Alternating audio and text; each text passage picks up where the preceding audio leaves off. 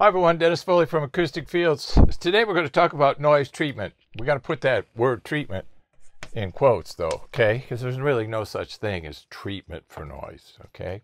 Not in the sense that we think about absorption and diffusion treatment. Completely different science. One's vibrational acoustics, noise. One's airborne energy, wave and ray. Completely different, okay? So there's no such thing as noise treatment. There's no freestanding or wall hanging units that you can use to stop noise. So people think, well, I got this wall between me and the neighbor, so I'm going to put a panel here to stop the noise from the neighbor. It's just, it doesn't make any sense to look at that and go, hmm, oh, I'll put some more panels. Okay, well, now it's foolish. Okay. Noise is like water. It finds the weakest link and it goes through that. It can be the tiniest hole. Those of you that work on cars, I used to work on my car when I was younger and change the oil. Remember that oil plug, the drain plug? Had that gasket on it, plastic gasket, neoprene, or whatever the material was. That gasket had to be perfectly clean. The uh, the area around the threads had to be cleaned. It had to be a very, very tight fit. You couldn't have a piece of dirt, a metal filing, or anything, you know, in that gasket because it would drip. Same with noise. Same with noise. Noise goes through, around, over, under, everything. It's like water. Finds the weakest link. Barriers are a structure that you build between the noise and the source of the noise, you, the receiver, and the source.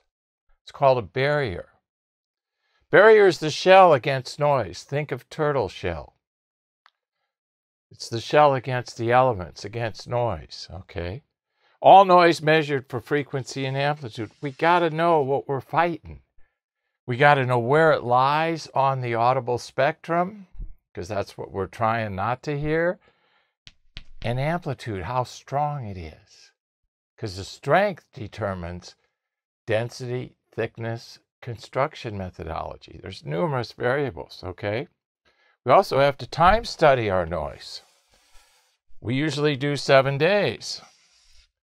So you get a complete noise map of the week.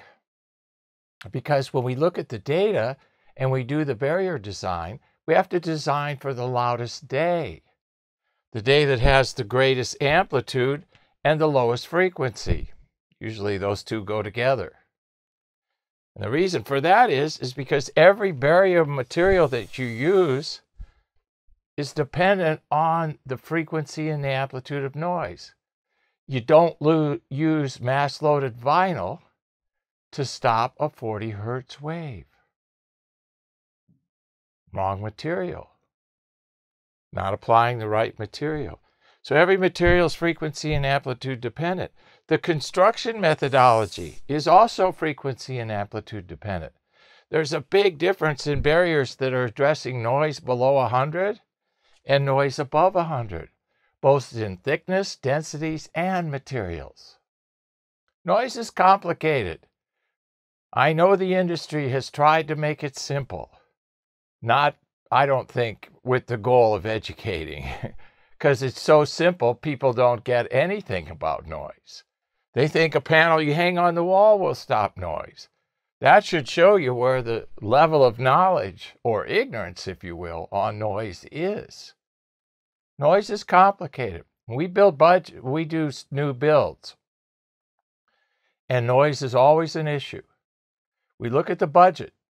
And if I don't see a three or a four to one ratio between noise costs and treatment costs, I send it back for re, re, uh, rebidding and relooking because noise is expensive.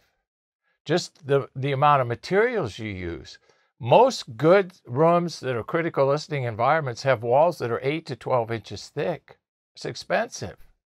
Four walls and the ceiling if it's on a concrete slab. So that's a lot of material in an average size room. So noise is very expensive, three, four, five times greater than absorption and diffusion inside the room. So beware.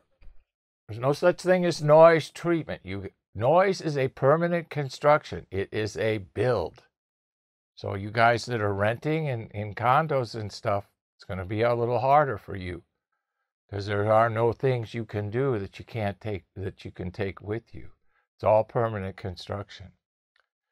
Noise treatments, no such thing. I hope this helps. Thank you. Thank you for watching this video, and if you liked it, please give us a thumbs up. We also have a newsletter that you can subscribe to, so please do that because we offer special price discounts to only those on our newsletter. And then don't forget about our forum. We have started a forum on our own website where people ask questions, and I usually get a chance every couple days to look at it. There's an interchange between people on the forum, and we'll give you real answers uh, on a regular basis, so that'll help you. Thank you.